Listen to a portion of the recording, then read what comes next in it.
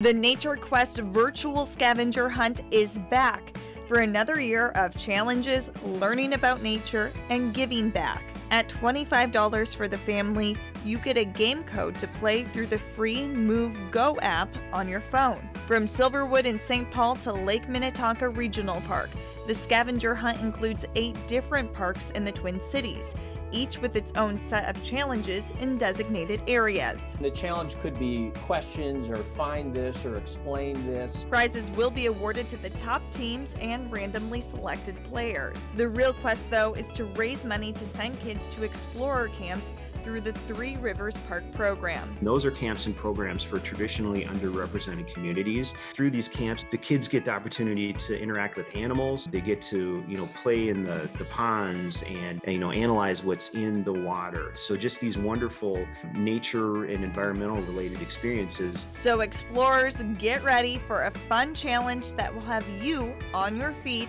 and learning more about local parks while helping others explore nature too. Hannah Conway, KARE 11 News.